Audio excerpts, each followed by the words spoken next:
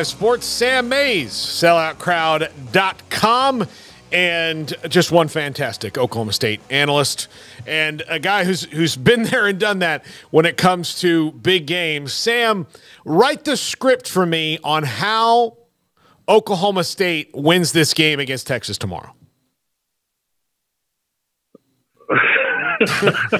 Coming out blazing, Paul. Yeah, I know. I just you know, I'm sitting there thinking, man, you can't. I can't get a little warm up. You can't serve me in or you know, give me a little uh, something to start with. You know, I, honestly, I think it just comes down to Alan Bowman. You know, I, I sat in the stands a few weeks ago for the final, final Bedlam game, honestly thinking that it was going to be Oklahoma just beating the hell out of Oklahoma State in that game. And then what happens next was crazy. Alan Bowman comes out, throws a bunch of completions early in the first quarter of that game backs the Oklahoma defense up significantly.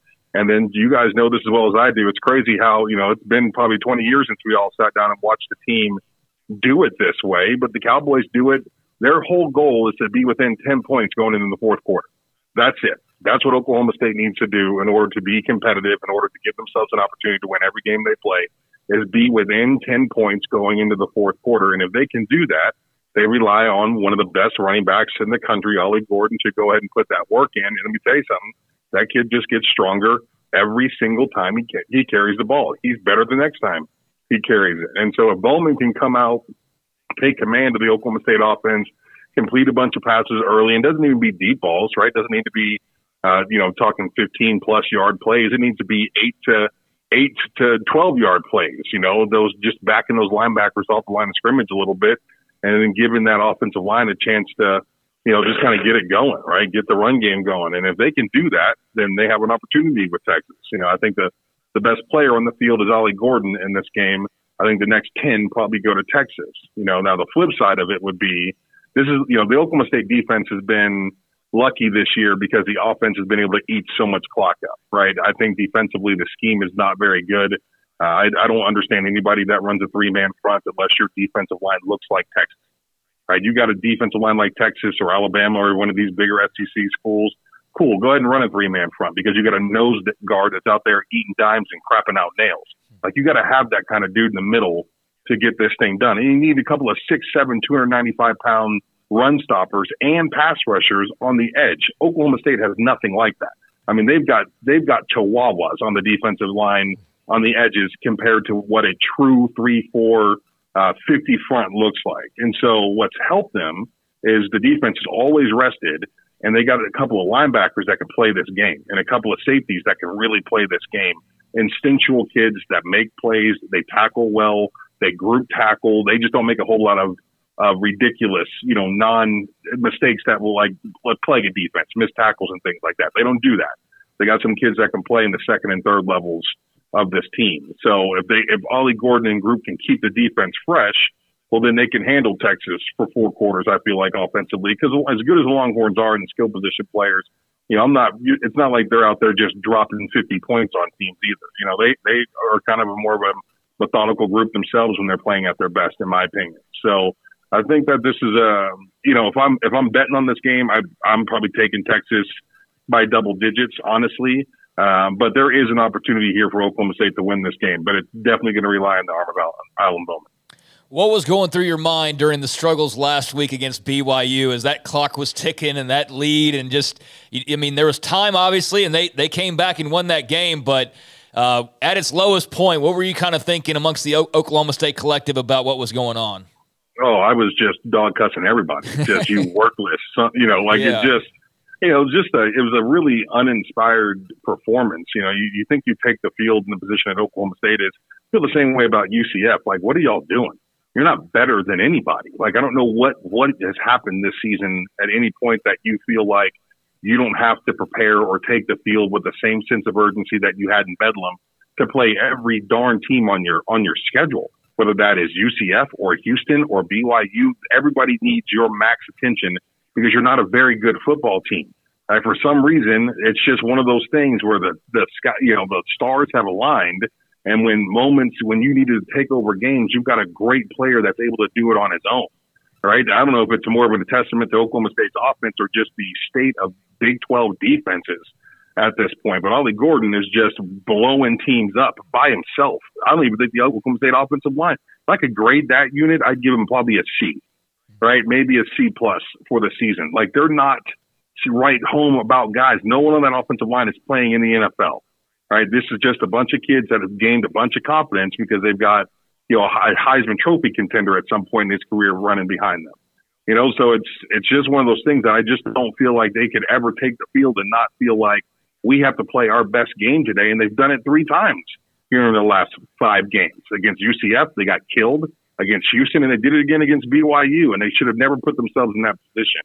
To me, that's leadership on the field and it's leadership off the field. They've got to get it right. Get off this whole like I get it. You didn't expect to be where you are, and everything is hunky dory and exciting. Everybody's all smiles, but I mean, you are where you are now. So you've got football to play. You know, you got games to win. They beat UCF, and we're talking about you know a potential New Year's Six game for this Oklahoma State team, which is just insane when you consider everything that happened earlier in the season. So. I, obviously, they're not going to take Texas lightly. I would expect them to come out there and play their tails off early in the in this game as they can. But it was definitely frustrating watching them take the field with a lackluster attitude, you know, looking down at a couple of opponents that they're not significantly better than. Where would you grade this season on on Mike Gundy's coaching job? Um, because there were after South Alabama, like anybody outside of Stillwater had kind of jumped off the boat completely. Yeah, no, it, it's frustrating for sure. You know, and he wins Coach of the Year in the Big 12, and I kind of figured that was going to happen. I would have gave it to Neal Brown, in my opinion. You know, Mike Gundy is a is a elder statesman in this league. That guy's been around way too long to take the field in the first four games of the season running a three quarterback system. Have the worst loss in 20 years to a South Alabama team uh, that didn't deserve to be playing and still, let alone beating them and beating them the way that they did it. And you lose to Iowa State on the road, and Iowa State's defense is somehow, some way, one of the best in the league every year. And so I can, you know, I'll take that. An Iowa State loss, but there's no way you should have lost to South Alabama. There's no way you should have lost to UCF the way that you did.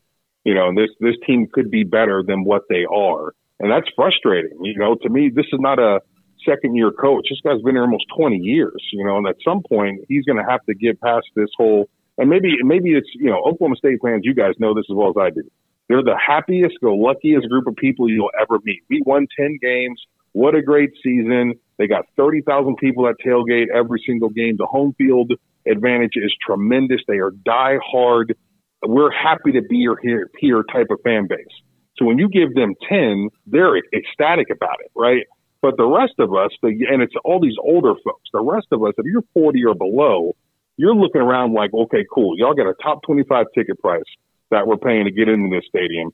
You got top 10 facilities still in the country. But and we want more better results, right? Especially with the Big 12 turning over the way that it is. No more Texas, no more Oklahoma. Who should lead this thing? It should be Coach Gundy in Oklahoma State.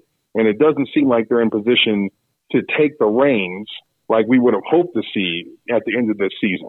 You know, you're playing, there's the title opportunity ahead of you. I don't feel confident that they're going to win the thing, but every, this will be another season where they leave it and everybody's like, man, what a great year. Mike Gundy did it again you know, go pokes. But it's the under to me, they should have done this four times since 2011, but they just keep falling short. And you know, they can't beat Oklahoma. They can't uh, win Bedlam. They they should have won Bedlam six times in the last 10 years. They had the better team three of those six times, and they continue to lose it over and over again.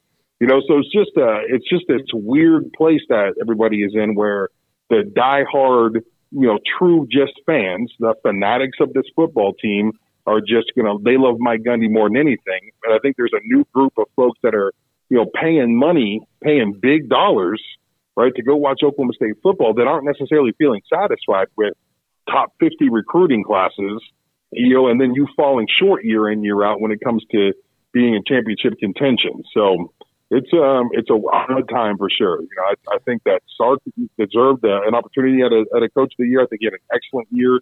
Neal Brown had an excellent year. You know, Gundy's feels a little bit weird to me, but you know, it is what it is. I don't have to vote. Yeah, uh, I, am right there with you. We, we had a conversation about this the other day. And it's like, hey, good for Gundy. Like nothing against him, but it's just like, yeah, you could probably make a better case for a couple of the other guys. But Sam, you sort of touched on this at the beginning. Uh, obviously, the, the, Oklahoma State offense. I think you're dead on with Alan Bowman's going to have to make some plays to open some things up. But when you look at that Texas offense and all those weapons, I mean that that toy chest full of weapons that Sark has. Um, what stands out to you in terms of what you know Oklahoma State does and doesn't do well, and what you see as the biggest challenges or you know places for opportunity, what have you, tomorrow in that matchup? I'll, I'll tell you right now, if Texas comes out and runs the ball successfully early in this game, they're going to score 50 points on Oklahoma State. Like they'll they'll score at will. And they so the Cowboys are going to stop the run and make Quinn Ewers be the guy that's going to go out there and get the ball to those weapons, make him throw the ball 25 plus times in this game, and I think you maybe have an opportunity because Oklahoma State's got some dudes in the back end that are ball hawks. They'll go get it if you throw it up there to them. And there's some of those kids are big, big and physical. They can run. They've got some decent speed on the back end. It, it all comes down to that front line for me. I think there's a significant advantage for that Texas offensive line uh, over the Oklahoma State defensive line. I, that's where I think this game is lost for the Cowboys. Sam, thank you so much for joining us. Uh, enjoy the game tomorrow. Um, you know, for Big 12 fans' sake, uh, I think. I think there's there's only one fan base that's rooting for Texas, and that's Texas.